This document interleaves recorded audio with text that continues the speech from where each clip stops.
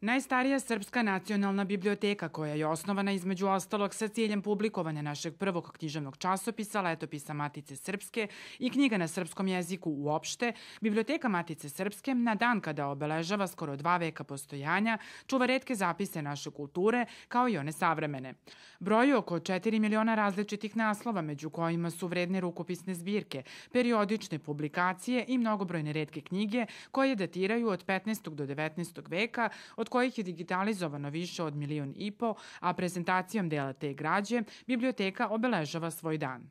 Imaćemo jedan elektronski zapis o istorijatu i nastanku biblioteke Matice Srpske. On se nalazi već na našem sajtu i na našoj Facebook stranici od 1826. do 2020. godine i jedan lep zapis o saradnji sa Ruskom Akademijom nauka i prvom razmenom knjiga koje su objavljene 1925. i 26. godine.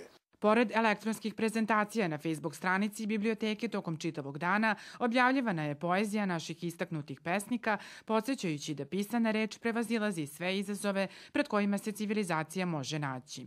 Ako želimo da obnovimo državu, da obnovimo narod, da oslobodimo vlastitu svest, da sačuvamo vlastitu dušu, mislim da smisao knjige, smisao istinske knjige je neophodno pretpostaviti bez smislu savremenog sveta.